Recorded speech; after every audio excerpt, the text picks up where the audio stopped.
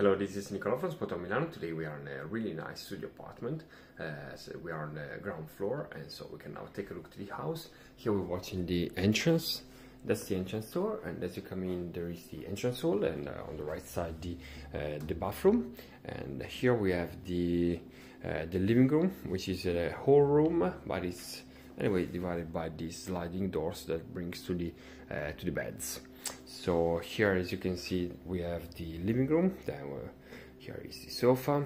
On this side we have the corner with two very nice windows here is uh, furnished with the uh, the microwave and the oven the cooking station with work, uh, which works without gas. Uh, then we have a small dishwasher and as you can see here there are there is all the space for the the cutleries the dishes and the glasses. And on this side there is here is uh, where you can cook and then we have also one more microwave and the coffee machine.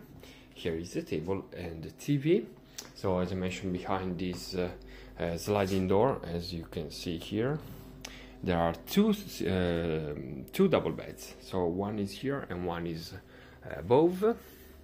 We can take a look right here. Okay. There is a TV also in this room and then there is the desk and the wardrobe on this side. Okay so then we can move on. And uh, before we move on here is a view to the uh, to the splits that uh, are one in the living room and uh, one is on the bedroom. So there is the air conditioning. Here is uh, one more wardrobe in this corridor. Then we have the bathroom which is very nice as you can see. There is the sink and the mirror on the left side. Then we have at the end of the room the shower which is really spacious. It's really huge uh, with very nice lights. And then we have the water and the bidet okay so then we can go back. Here, we are in uh, in the living room once again. So I saw the house. It's really nice.